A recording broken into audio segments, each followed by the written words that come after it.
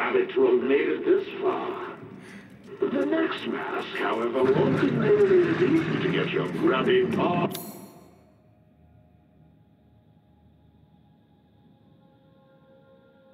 on.